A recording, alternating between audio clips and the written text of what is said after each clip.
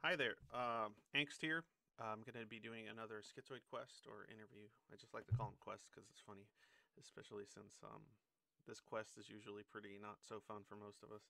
Um, this Schizoid quest, but um, today I'm here with Tei. Tei is fine. Yeah, Tei's Tei, good. Tei, Tei's good. Um, I'm here with mhm. Tei, and Tei um, is going to answer a few questions, and we're going to get into the nitty gritty of a couple of things, whatever they're comfortable with, obviously. And um, go ahead and Tei and just tell them a little bit about yourself, some basics. Uh, I know that's kind of hard for Zoids to do, but you know what I'm saying. Like where are you're from, how old you are, um, and kind of what you do, sort of whatever you feel like, you know, saying. Um, all right. Well, uh, I'm Tei. This is my epic voice reveal, and uh, I'm 24 years old in Miami, the worst place to be for a Zoid. Um, and I do accounting work on a computer at home, so I don't have to talk to that many people, which is nice.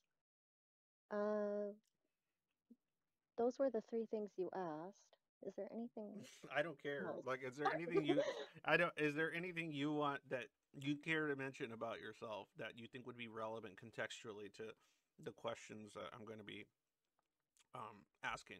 Like, you know what I'm saying? Like, I'm going to ask you questions about Oh, your thoughts. So, like, is there anything contextual wise that, like, you think would be of, yeah. of, of So value to mention? contextually, I'm diagnosed with schizoid personality There you go. disorder, hmm uh, dysthymia with anxious distress, and panic disorder. Uh, that's at the moment. I don't know if it'll change when I switch therapists again eventually. Uh, they tend to just go with whatever they like. So, This, uh, can you explain the dysthymia a little bit? Yeah, so um, because I have persistent depressive disorder, um, I'm basically always at kind of a zero in emotion, and then every once in a while I'll uh, dip into what's called double depression, uh, which is Is it like double just, jeopardy? yeah, it's just as awesome as it sounds. Uh, Yeah. I get, I, I think I have that too, whatever that is. Yeah, if you've been uh if you've been depressed for I think for adults it's two years or more, uh you automatically pretty much qualify for What, what, what if it's like, um, what if it's like 15 years? Yeah, yeah, you you've you've checked off the box, dude. You are good to go. Hell yeah. I'm cool like you now. Yeah. All right. Anything else? Um, not really. I I I'm having a hard time thinking of stuff that's important. So, Mm, a schizoid that can't think of things that are important to them. Wow. Big, big, yeah, big, big surprise, right? right? I'm I'm so unique. Mm, hell unique. hmm That's why I'm interviewing you because of how unique you are. Yeah, yeah. Definitely not because I just signed up. No, Yeah, not at all. no, not at all. Okay. So let's start with the first question. And these questions have been pretty much the same for everyone I've talked to and interviewed. And um, and I just want to mention ahead of time, the goal is sort of to get a better kind of qualitative uh, bit of information about what schizoid adaptations look like, feel like, are experienced as, and so on and so forth. So that's why I generally right. specifically like to um, talk to more diagnosed schizoids and things like that. But in any case, um, number one, would you describe yourself as a floating head? Do you prefer concepts over objects?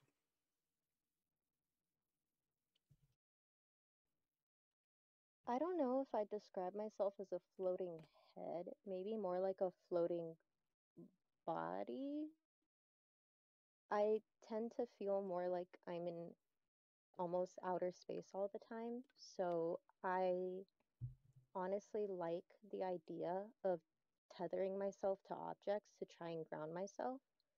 Um, but I think habitually I tend to gravitate more towards concepts. Could you describe that a little bit? Like, could you give an I example of how, when you do this or how you do it? I can try. Yeah, you can definitely try. That's all you can. That's all I can ask. That's all I can ask for. Um, okay, so let's say it's 3 a.m. and uh, you're in your room all alone, it's quiet. You close your eyes, Okay. and suddenly you're you're underwater. You've you're down in the Mariana Trench, dude. Um, you're Okay. floating. It feels like you're not you're not where you're supposed to be, even though you feel comfortable there. You know that you don't belong there. Um, so what I tend to do is I'll instinctively try to reach for a book or maybe a game, or sometimes I'll just even like a pillow, anything physical to try and remind myself that like I'm I'm in this dimension and not just floating nowhere. hmm What does that Yeah. floating feel like? Um, it it it's really similar to being underwater. Um, have you ever gone underneath the pool and just released all of the air out of your lungs and you're just kind of at the bottom? No, but I can Oh, imagine. yeah, it's like that, but the pressure is more intense. It's like the air itself is kind of suffocating you, but in a comfy way. Would you describe it as a, like a derealization type feeling? Yeah, it, it's probably that. Like, uh, is it is it disconnect from you and your environment, or you from your body? Both, to be honest. Okay, It's so this, yeah, it's this really hard to describe feeling. yeah. So you disassociate from the body as well as derealize from your environment a bit. Okay, I was just curious. Yeah. Thanks. Um, Yep. okay, so would you describe yourself as a minimalist who performs only the most crucial activities before returning to your thoughts? I don't want to say yes, but the answer is yes. Uh, Why don't you want to say yes? because I feel like um I guess I just habitually feel like I should be doing more than I am, but I hmm always just do the bare minimum and then go, all right, uh, that's good enough for me. See y'all did it. later. And, and only to return back to your thoughts or whatever you are preoccupied Yeah, with. yeah, exactly. And um, you know, you're ba back in your headspace is when you're is when you're most comfortable, I'm guessing. Yeah, when I'm by myself is exactly when I'm most comfortable. Is your immediate environment somewhat ne neglected?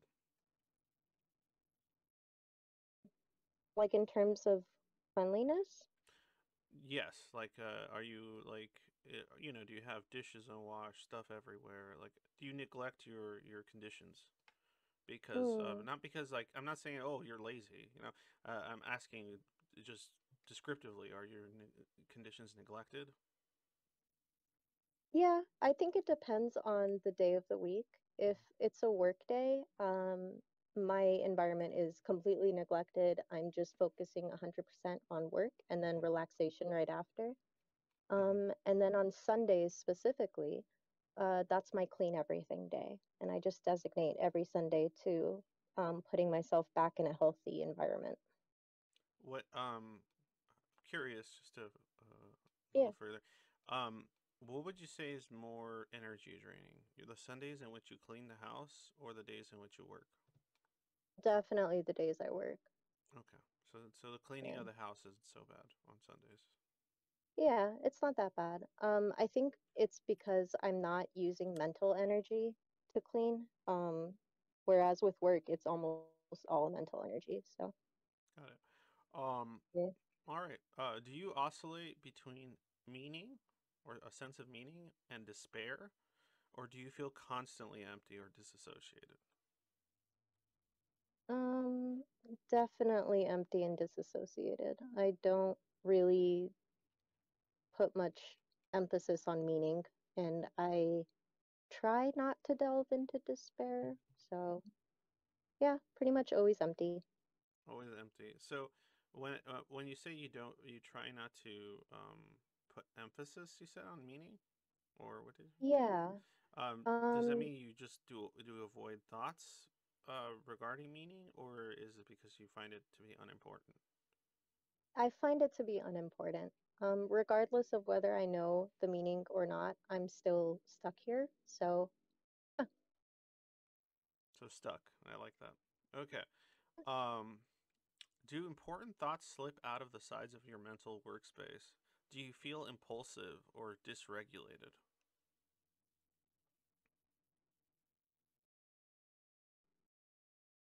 I think if it's important to me, I won't forget it. But if it's important to someone else, there's a good chance it'll slip out of my mental space, you said? hmm Yeah. Like your workspace. Basically, you, you, do you have trouble keeping track of things that you're supposed to accomplish or do, uh, and um, are more likely to just do whatever it is that you feel like doing at any given moment? That's that's kind of what. But Oh, you I said see it what you mean. varies. You you said it varies. Yeah. Um, so I get, um, I think they call it brain fog, where um, every once in a while you kind of, your memory gets a little hazy. hmm So I tend to have lists to keep track of what I need to do. hmm Um, if I don't have that list, then it's a brain fog day. Uh, chances are I'm not going to get anything done.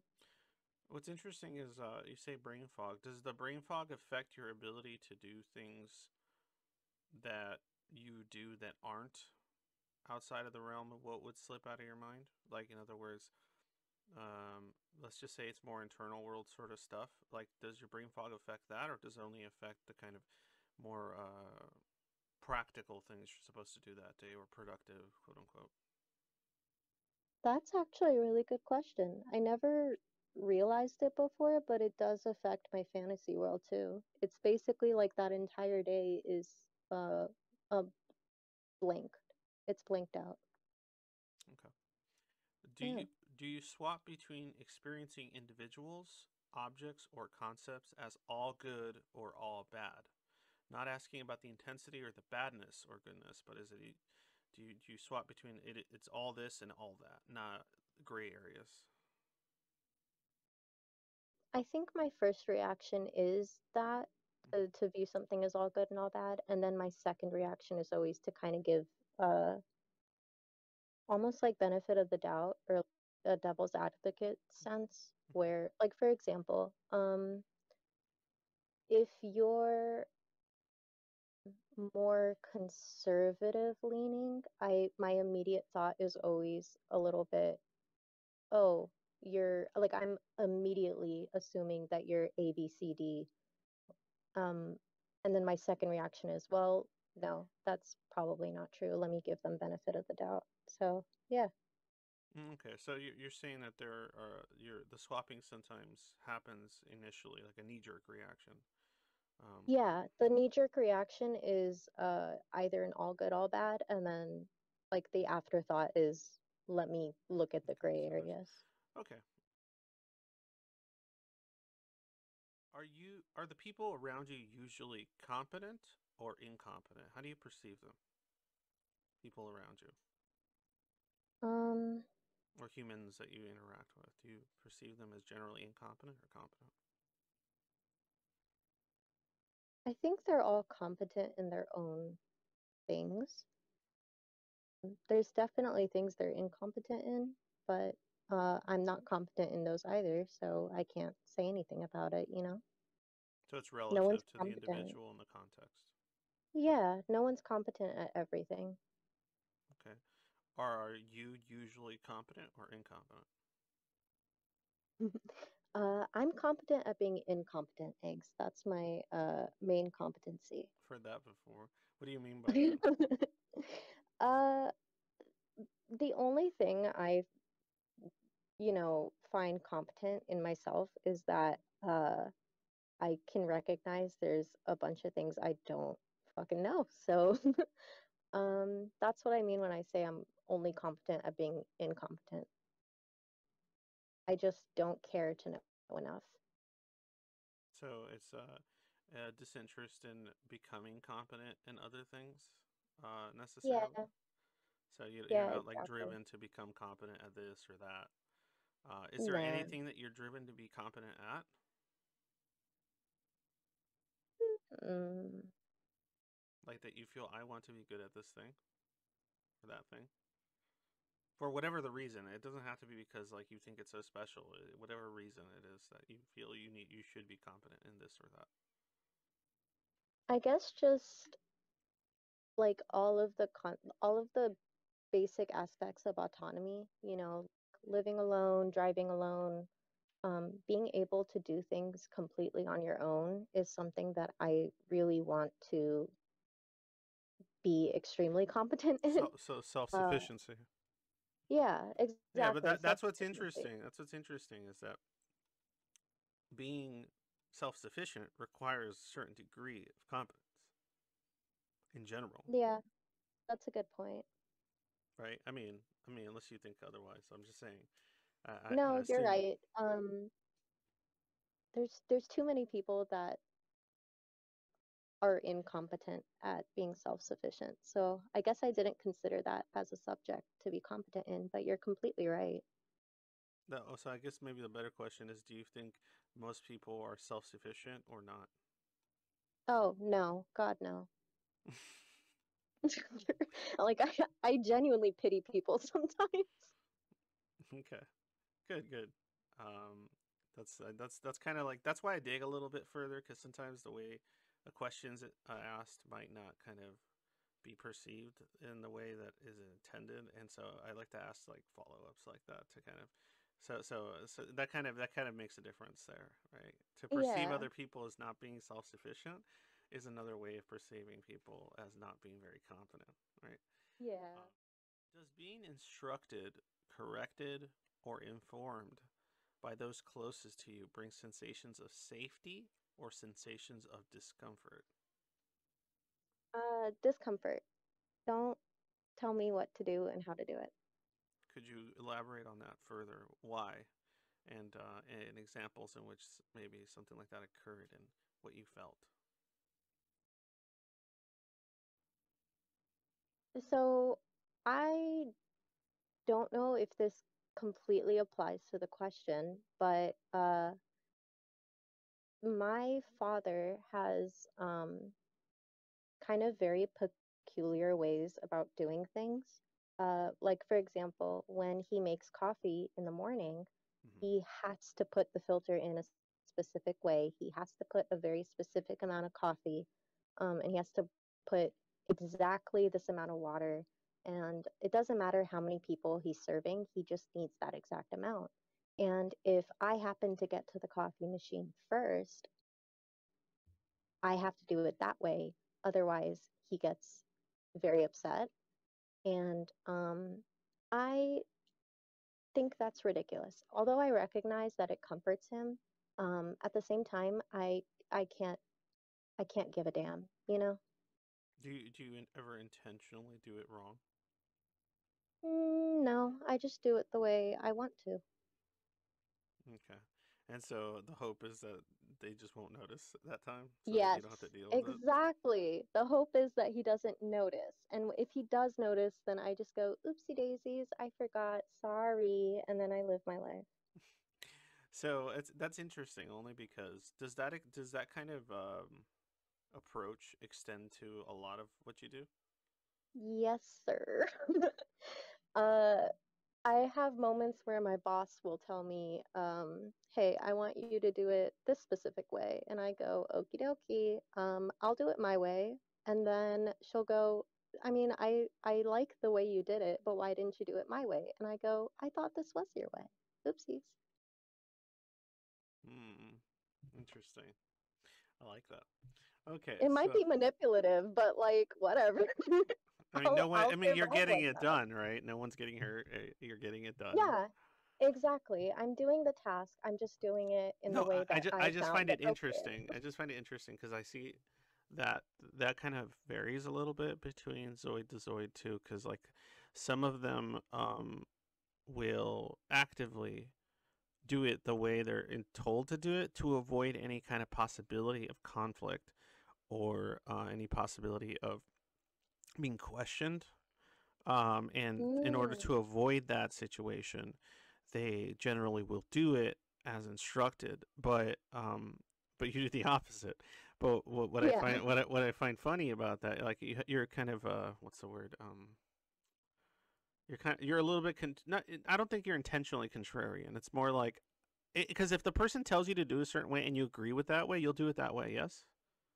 Yeah, I won't lie outright. No, I'll but I'm saying if they you w- agree with the way they instructed, will you do it their yeah. way, or will you just intentionally not do it their way because it's the way they said to do it? Oh no. If the if the Yeah. way they said it is to me correct, then of course I'll do it that way. Um, I'm not Mm. intentionally, you know, Yeah, you're not just being a contrarian. shit up. Yeah, no, no. Can you feel the emotions of others, or do you experience them as obstacles or puppets? Mm, Can I feel the emotions of others?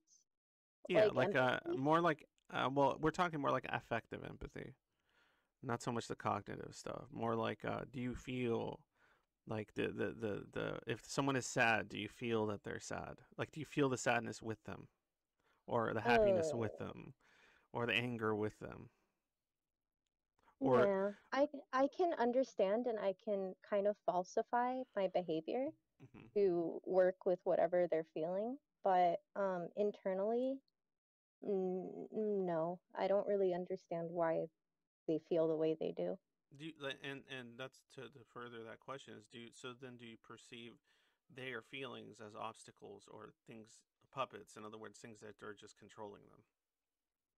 Um, obstacles to you or things that you perceive as obstacles to them or c- things that control them I think it's an obstacle to them because they're kind of completely controlled by their emotions rather than logic. And um, it's just kind of pitiful to me sometimes. Like you hear all these stories about um, people going off the deep end because their high school sweetheart doesn't love them back, and I just I I I don't get it, man. I can't connect with that. It's pitiful. okay uh, is empathizing easier with individuals fictional characters or groups of people Mm, probably individuals, just because, you know, when you're in a group of people, you're kind of just copying what everyone else is doing, or at least in my situation. Um, I'm not really actively working to understand the other person. I'm just copying whatever the group is saying. hmm Um, but if it's an individual, I'm I have a better grasp of who they are because I'm working harder to understand their mentality. And I guess I guess the same goes for fictional characters because at the end of the day, a fictional character is just written by an individual anyway. so which one would you say is easier or have you ever emotionally connected to in any capacity another person or fictional characters written by another person Um, I don't know. I don't think I've ever emotionally connected to any of them. I can just understand why they feel that way. got it do Yeah. you more often share others pain or enjoy it It depends on how serious the pain is. If it's a if it's like a genuine uh I, I'm torn into pieces type of pain, um I I do feel like that clench in my in my chest. But if it's like a casual pain, like, you know, um their pencil lead keeps breaking and uh or you know, they crashed into a tree that they swore wasn't there. I'll I'll fucking giggle at them. I don't care. you what Uh, I'll giggle at them. I think it's oh yeah funny. Just a little bit. Just a little bit, you know? All right. Do you more often share others' joy or do you lament it? In other words, like kind of like it makes you sad or you resent seeing their joy, or No, do you I or like do you share it? people happy. You I don't share it, but it, it's um it, it doesn't upset me to see people happy. I think it's I think it's nice that they can feel like that, you know? I don't know how to explain it right. no, it's it's that's perfectly fine. That's good. Is empathizing with yourself easier via your individual struggles or through art, philosophy, politics, etc.?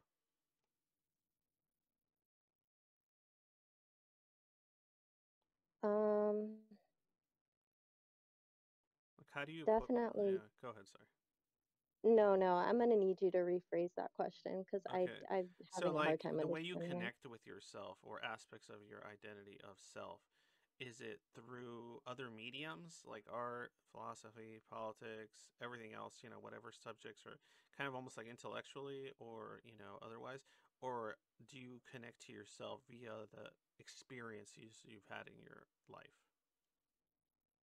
Um, definitely the experiences I've had. I try to, you know, express myself through my art, but I always feel like it's not it's it's not enough, you know? Like the art that I do doesn't fully express the feeling that I have. So, um, definitely personal experiences make feel more than artwork does.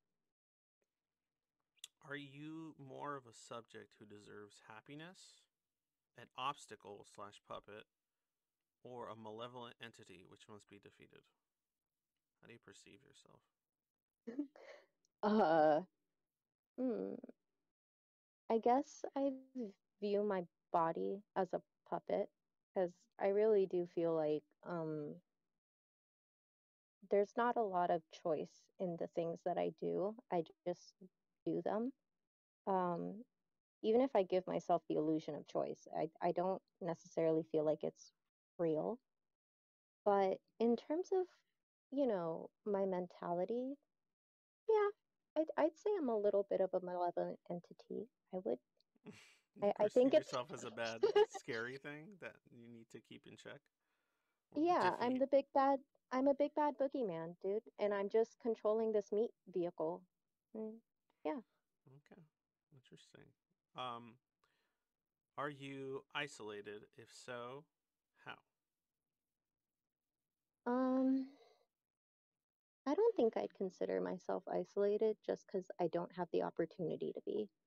Um, where I live is pretty expensive, hmm so I'm stuck living with um other humans. And um yeah, it's it's that simple. If I had the option of being isolated, I'd I'd take it in a heartbeat. Do you think it would have a detrimental effect on you though, after uh, maybe an extended period? You know, I wonder about that sometimes. Um, I don't really have an answer because I've never been able so you haven't to had an opportunity for like pure isolation for exactly. extended Yeah, if. I don't know. I I feel right now it would be it would be beneficial, hmm but maybe that's not realistic at the same time. Got it. Uh, do you desire relationships, uh, and not necessarily romantic ones? It could be friendships. Do you desire them? If not, why? I don't. Um, and I don't mean it in like a I'll actively reject a friendship. I just mean it as I don't seek out relationships on my own. They come to me and I let them go when they want to go.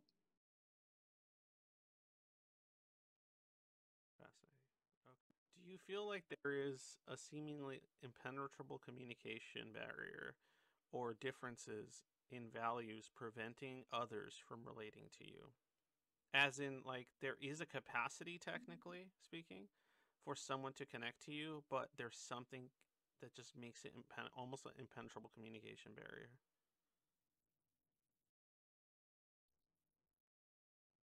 Yeah, I'd say so. I don't know if people this I don't mean to sound exclusionist or whatever you want to call it, but I really do think that if someone doesn't have the mentality of um, someone with schizoid personality disorder, they're going to have a pretty hard time understanding why Mhm. we act the way that we act, I guess. So that in itself is a pretty big barrier. Cool. I mean, yeah, to say the least. And so, d- uh, Yeah. have you have you ever had situations in which, like, maybe you felt like you almost did, or you, you even if you say you falsified the thought, but like that you you thought you were about to, or you thought you something you were onto the possibility, and then uh, this communication barrier settles back in and just reminds you that uh, that that disconnect is is somehow feels uh, um, uh, inevitable or it's going to occur again. So you're discouraged from uh, continuing down that route. When I was younger, yeah, I'd say so. Um, just because the first time Mhm. that um like someone confesses to you or the first time um someone calls you their best friend or you know all of those tiny little firsts, you're always going to get like I mean, um maybe it's because I have a panic disorder, I don't know, but uh I always get that like anxious heart pumping like is this what I'm supposed to do? What am I supposed to say type of thing. hmm Um so I've had moments where, you know, I'll say something in the heat of the moment and then I go, I didn't fucking feel like that. Why did I say it like that? Um And yeah, you learn from that first incident and then you don't do it again. Okay. What can uh, potential friends or partners, even if they feel like impossible to achieve because of a variety of reasons, but let's just let's just let's talk hypothetically, okay? What could potential hmm friends or partners change about their behavior or expectations to help you feel more comfortable pursuing a relationship?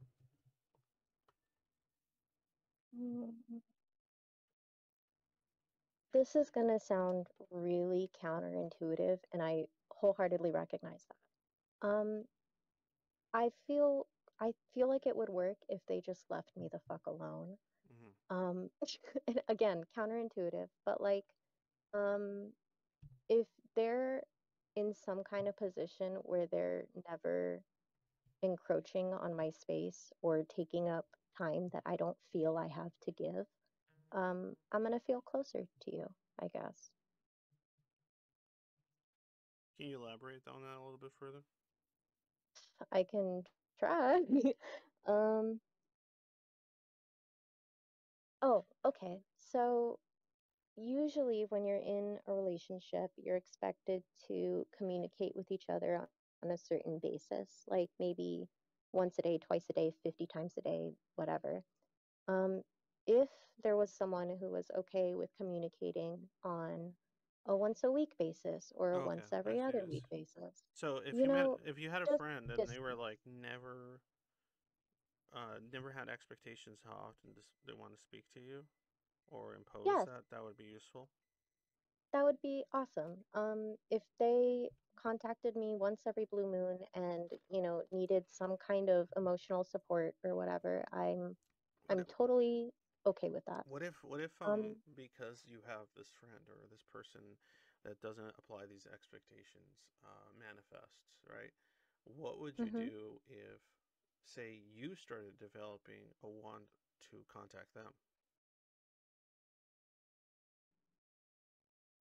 I'd probably ask them if they were okay with it, just because I know if they started feeling that way, I'd want them to reach out to me about it and let me know beforehand that they want to talk more. Interesting. The reason I ask too is I often think about like say say say you stumble across this person, right? But didn't know it hmm at some point in your life. And I think about this possibility for Zoids is that what if this person would have been that person that understood that, but because we never actually told them anything, they never even had the opportunity, and we lived only under the assumption that they never would. Yeah, um, I mean, if they're sneaking around, if if the per if the person for me is just sneaking around and uh doesn't recognize um like the connection that I have with them and vice versa, uh, I think that's just how it was meant to be. I don't think Well, what I mean if that person is say actively say they're they're trying to hit you up more often than you'd like, right? Okay, Uh huh. If you approach it with, "Hey, well, I'm just gonna stop talking to you now because you're the kind of person that likes to hit me up a lot," instead of saying, "Hey, I don't like to be hit up a lot," I feel like it removes the oh, opportunity for that other person to even display the possibility of being understanding of that situation. And uh, Yeah, it's just it's just a thought. It's just a thought popped in my head no, right now. I agree with you. I agree with you. Um, maybe I was wording myself incorrectly, but um, typically with the people I tend to keep a connection with, hmm or the people I communicate with on, you know, however long of a basis, whether it's monthly or semi-annually, whatever, they're all fully aware that I'm I'm not the type to communicate well. I'm never um like skirting around that fact. Um, anyone who continues to keep in touch with me, um, they'll they'll know because I tell them up front that I don't like texting, I don't like calling. Um, if you need me, then that's one thing. But if it's just this unimportant thing, I'm probably not going to text back. And the people that stay are okay with it. So that brings to the one of the last actual question questions. What would the ideal relationship look like? So you kind of partially described that. Um, Yeah. so if we're talking, Mm, uh, I guess, quote unquote, a partner, what would that ideal look like? hmm. I'm trying to think of it realistically because this isn't something that I tend to think about. Um, I guess maybe if they have like a job where they're not near me, like I guess like a like a pilot or trucker, trucker. I don't fucking know. trucker Yeah, an astronaut. You know what? I'll date an would be great. astronaut. You would date an astronaut. Yeah, he's all the way up there. What's he gonna do about it? Um, but yeah, um, just stupid shit like that. Yeah. Um, if if they're in a position where they can be as far away from me as reasonably acceptable, that's good. I just find I it mind. fascinating because of how, how much that tells uh could tell uh someone listening about yourself that the very like the closer someone is to you, the further away you want them to be. Uh Yeah. Think, yeah. uh, oh, you know what it's like? Have you, you know, when you try to put like, a north magnet and a north magnet together and they hmm just fucking, they're, it's that. The closer you get, the more I'm gonna like yeet out the other way. You just want to eat eat them away somewhere else. Yeah. So funny. Yeah. So Get out of my bubble, you know? yeah there's other people closer to their bubble that don't that you're indifferent to, which is kind of funny to think about. Like you wouldn't Yeah, if they keep, away. yeah, if they keep like a 10 foot distance, that's where I'm most comfortable. Oh, okay. Just yell at me from across the yard and we'll be fine. Okay. So this is the last Yeah. kind of section. Um, I want to talk about the nature of your inner landscape, fantasy life, etc. Your, you know, perception of reality internally and against your external world. Like, could you tell us a little bit about what that looks like? What you're willing to share about that looks like?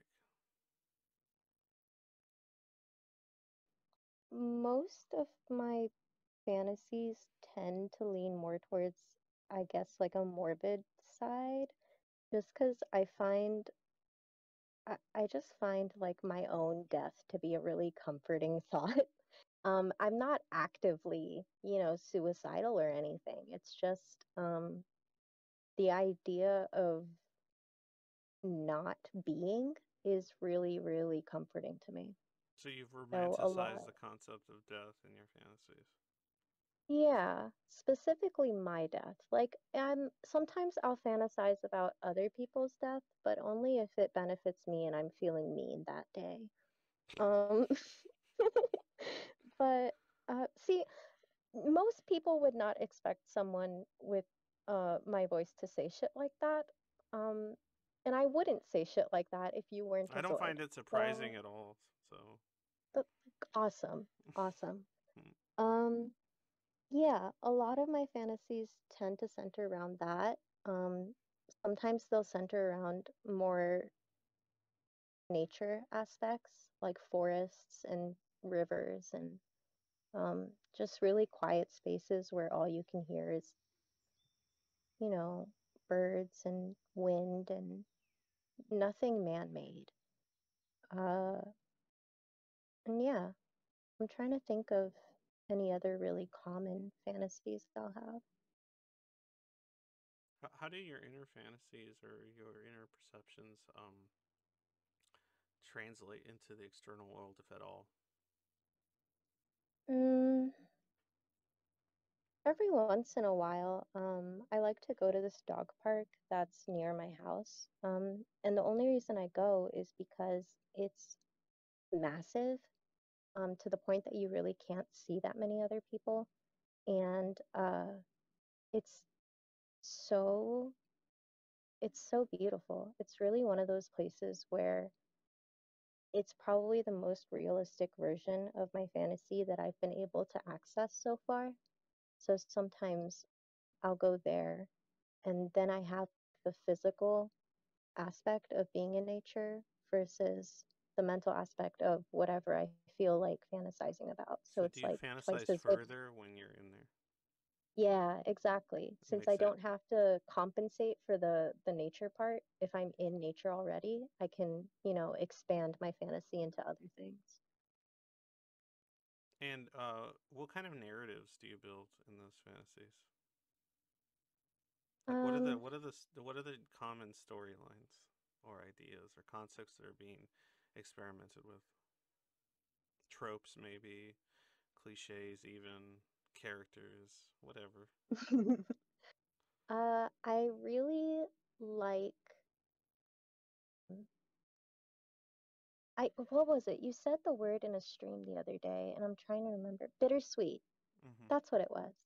I like bittersweet uh tragedies, you know, where um let's say in my fantasy I did care enough about someone that I would cry if they died tomorrow.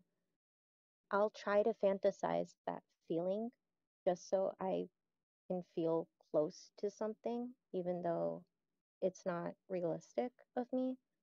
Um, I'll try to fantasize about um, maybe having magic every once in a while. If I'm feeling spiffy that day, angst, you know, I'll, Extra. No, I get it. I get yeah, it. it just depends on the day. extra spicy. Yeah, You want to throw in some some uh, Elder Scroll yeah, style spells in there or whatever. yes. If I'm feeling, if I'm feeling a little bit, you like, what superpower do I want today? What? exactly. And then other days I'll just be like, so who's died this morning? Mm. Um, Okay, we'll make it this random person who And then that, apparently I've that, loved for 40 years. yeah, yeah, that's so Yeah. funny.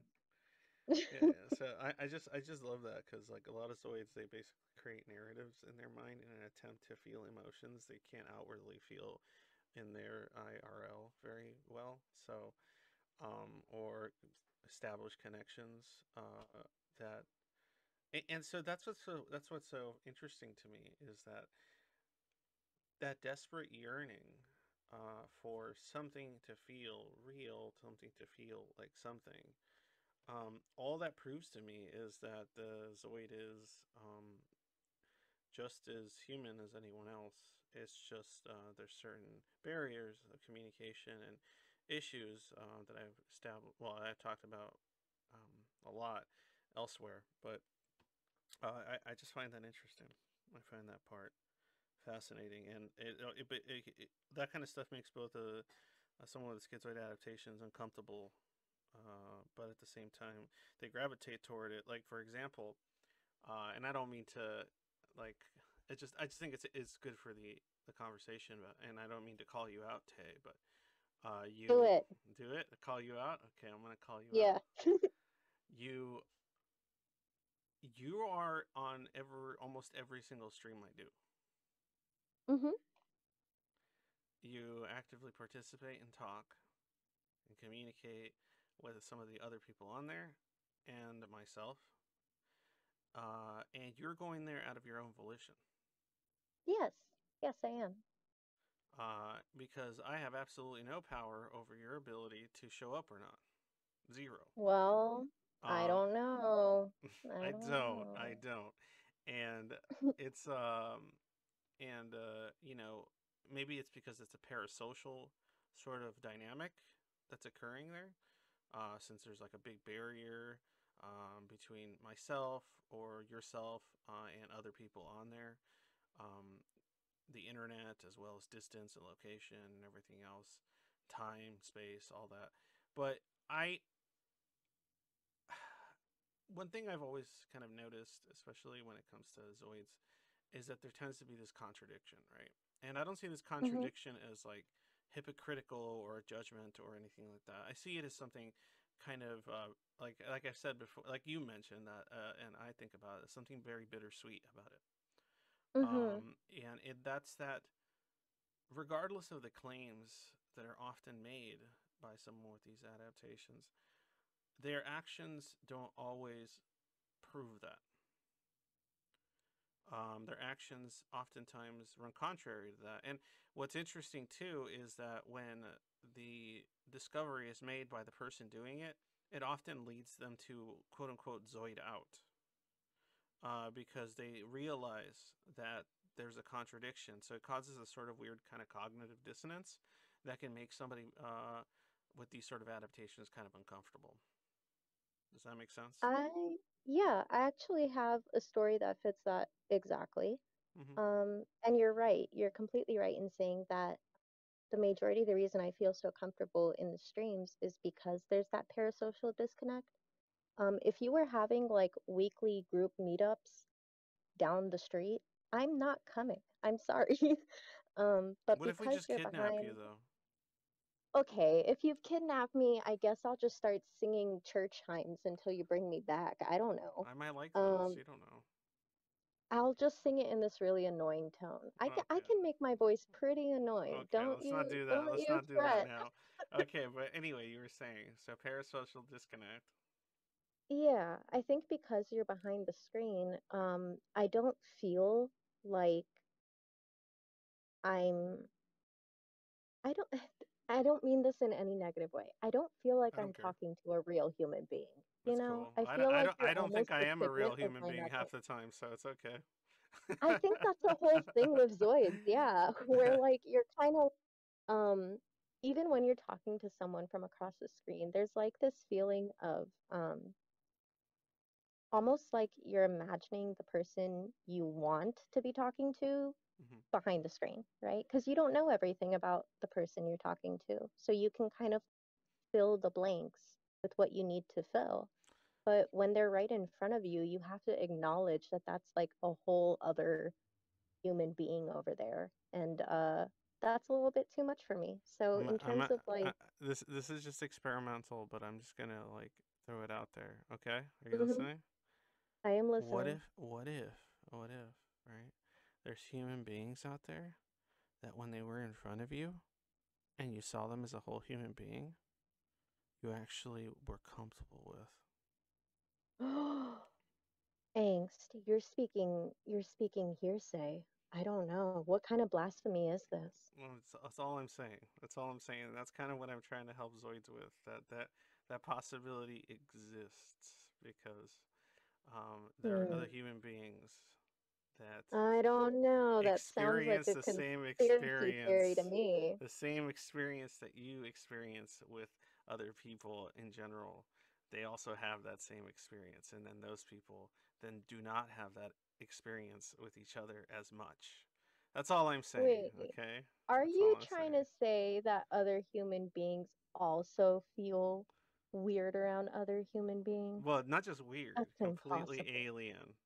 Uh, and they feel alien for the same reasons or similar reasons, which could then allow those people to relate to each other and be comfortable around each other as whole human beings. It's pretty crazy. Pretty crazy. Although I agree logically with what you're saying, I'm gonna call it blasphemy because emotionally I don't like it. I know. I, of course not. Why would you like it? It's horrible.